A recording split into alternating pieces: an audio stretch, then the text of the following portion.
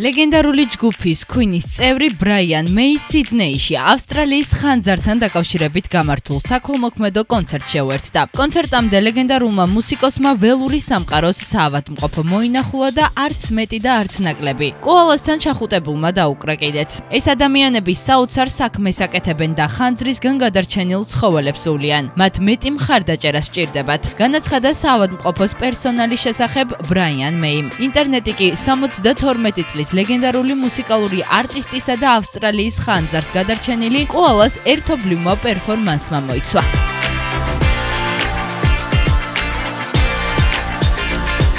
ლეგენდარული ვიტნი ჰისტონის პირველი მსოფლიო ტურნე გარდაცვალების შემდეგ უკვე დაანონსდა. ვიტნის ჰოლოგრამით პირველი კონცერტი მანჩესტერის სიახლოვეს შეფილდში 25 თებერვალს გამართება. სწორედ აქ დაასრულა 2010 წელს მუსიკოსმა თავისი ბოლო ტურნე. ამჯერად შოუს შემქმნელები და ორგანიზატორები ლოს-ანჯელესში ბოლო რეპეტიციებს გადიან. 90 წუთიანი შოუ სავსე იქნება ქორეოგრაფიული ნომრებით. სულ კონცერტზე 17 სიმღერა შესრულდება, მათ შორის ისეთ ერთი ჰიტები, როგორიცაა I wanna dance with greatest love of all the saving all my lover for you. ამ ინფორმაციას ფანები არაერთგვაროვანი ემოციებით შეხვდნენ. ზოგიერთის აზრით 48 წლის ასაკში ტრაგიკულად დაღუპული მუსიკოსის ამ ფორმით დაბრუნება მიუღებელია. ბევრმა ფანმა კი ბილეთები შეძენა უკვე მოასწრო.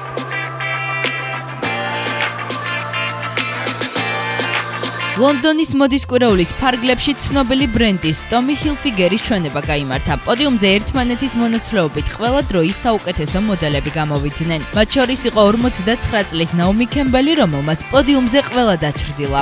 მან ბრენდის ახალი კოლექციიდან მწვანე ფერის სპორტული კოსტიუმი წარმოადგინა. შოუში ასევე მონაწილეობა მიიღეს ვინი ჰარლოუმ და ალესანდრა ამბროსიო. ეს იყო ლუის ჰამილტონის სადებიუტო კოლექცია ტომი ჰილფიგერისთვის. ამიტომ მის კოლექციას ყველა ინტერესით ელოდა. დიზაინერმა აქცენტი სპორტული და კლასიკური სტილის ნაზავზე გააკეთა.